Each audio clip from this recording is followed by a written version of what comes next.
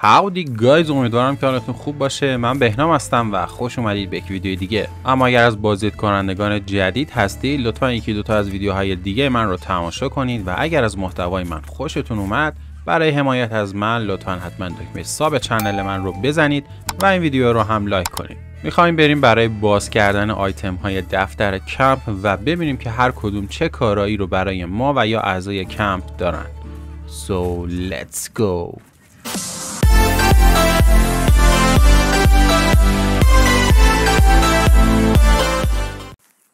خب دفتر کمپ از همون ابتدا فعال نیست و بعد از اینکه Mister استراوس از شما طی مرحله Money Lending and Other Sins می‌خواد که از سه نفری که اسم می‌بره بدهی هاشون رو پس بگیرید و توی صندوق کمپ بذارید برای شما فعال میشه.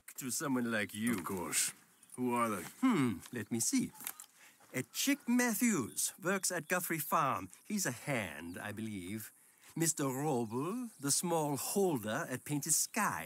Runs the operations there, badly. Miss Lily Millet is a ranch maid up at Emerald Ranch. And here was me believing Dutch's bluster about us helping folk. It's legal work, Mr. Morgan. Debtors belong in prison. We are doing them a favor. Aye, I'll make sure they see it in them terms.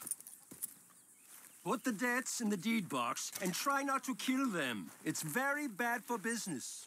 خب من طی واکترو بازی رفته بودم سراغ آقای روبل لهستانی و فرقی هم نمی‌کنه که ابتدا پیش کدوم برید. در نهایت بعد از اینکه موفق باشید اولین بدهی رو وصول کنید. پیامی مبنی بر اینکه می‌تونید به کمپ برگردید و یا بقیه بدهی ها رو جمع کنید ظاهر میشه.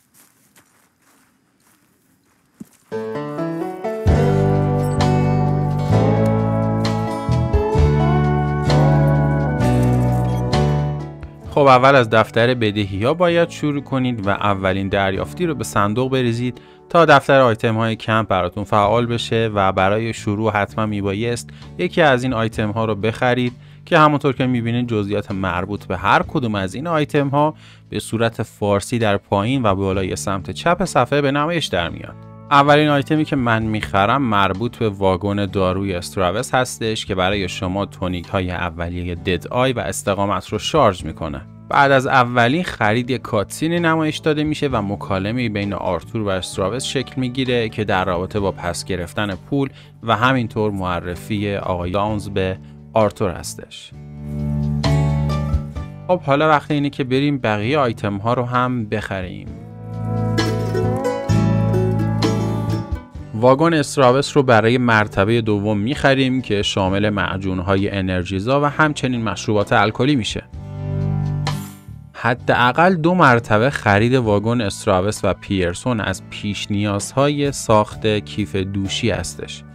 و برای مرتبه سوم واگن استراوس رو با نوشیدنی های التیام بخش و نیرو بخش موثرتری می‌تونید بخرید.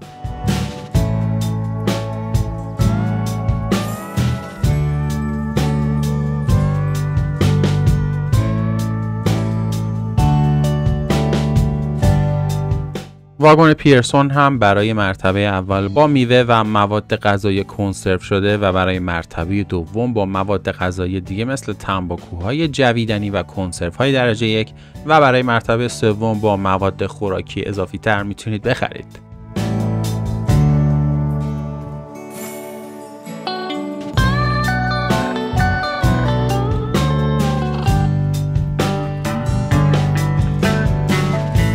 اگر توجه کرده باشید آیکون مربوط به مواد غذایی و آیتم های دارویی و مهمات با هر خرید از رنگ قرمز به رنگ سفید و در نهایت به رنگ زرد که یعنی شارژ ترین حالت ممکن هستند تغییر داده میشن. و زمانی که خالی شده باشن شما می‌تونید با خرید آخرین آیتم هر کدوم از این انواع در آخرین سطر هر بخش اونها رو تهیه و شارژ بکنید. خب بچه ها بعضی از آیتم های دفتر کمپ با خرید یه سری موارد دیگه باز میشن. عین واگن های پیرسون و استراوس.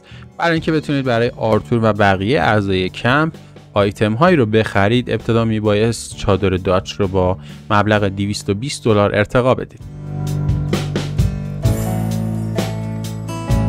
و الان دیگه با ارتقای چادر داچ می‌تونید یکی از کاربردی ترین امکاناتی که بازی داره یعنی fast travel رو با, مبلغ 325 دلار بخرید و همینطور یه سری تجهیزات تمیزکاری رو برای آرتور فعال می‌کنه. توجه کنید که این fast travel برای مکانهایی از قبل دیده شده کار می‌کنه. یعنی اگر شما تا به حال به ونهورن نرفته باشید نمی‌تونید با استفاده از fast travel به ونهورن سفر کنید. و نکته مهمتر اینه که ممکنه که fast travel برای بعضی ها که توی طبیعت کمپ کرده باشن کار نکنه. اگر برای شما اینطور هستش لطفا برام بگید که ورژن بازیتون چند هستش چون ممکنه که مربوط به ورژن و آپدیت های بازی باشه.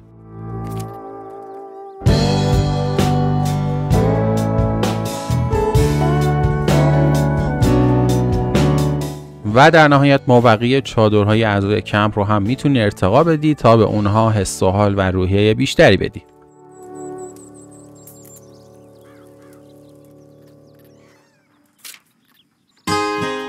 هورس استیشن یه آیتم خیلی کاربردی هستش که به شما اجازه میده بدون اینکه به استبل برید اسب مورد نظر خودتون رو فراخونی کنید برای اینکه پیرسون بتونه برای شما کیف دوشی و یا لباس و چیزهای دیگر رو کرافت بکنه حتما میبایست که ابزار چرمدوزی رو براش بخرید.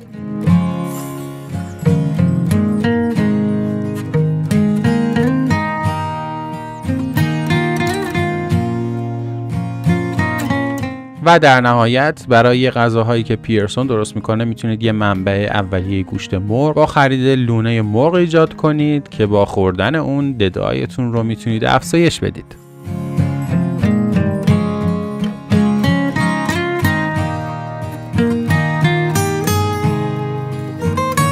می‌رسیم به بخش مهمات.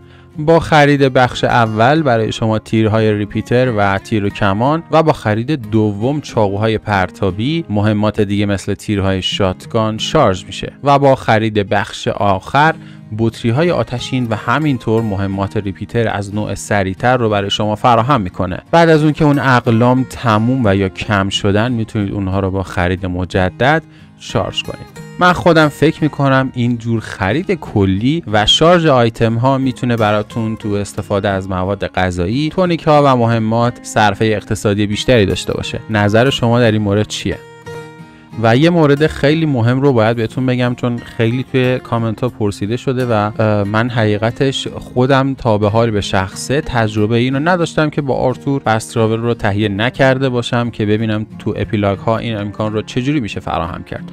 چون اون موقع دسترسی به دفتر کمپ فراهم نیست. اما وقتی که می‌خواستم این ویدیو رو تهیه کنم سرچ کردم و تنها چیزی که یه مقدار روزنه امید رو برام روشن کرد این مقاله از سایت گیم یا گیم باب یا هر اسم دیگه که داره بود بود که اول اشاره به spoil کاراکتر دوم بازی و در نهایت گفته بود که پس از به پایان رسوندن خط سیر داستانی بعد از epilogue اول تو اتاقی در Beecher's Hope به صورت رایگان فراهم میشه. اما آیا تو کمپ هایی که در طبیعت برپا میشه هم جواب میده یا نه رو به صورت واضح اشاره نکرده و ممنون میشم اگر تجربه در این مورد دارید حتما با ما در میون بذارید.